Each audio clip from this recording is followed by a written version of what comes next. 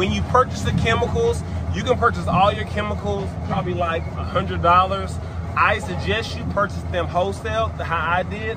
I buy them in gallons or whatever, so that way I just add water so I can dilute it, so that way it's not so strong.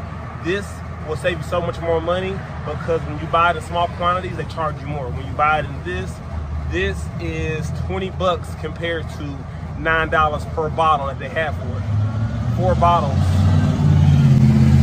You get the math, you get it. All right, next thing that I suggest you get or you may need, you are a steamer.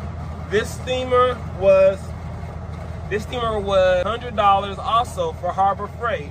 It was on sale, Central Machinery Steamer. I use this to steam the seats, to get uh, stains out, get smells out. You don't need this to start, but it is good to have because it will make the process go a lot faster.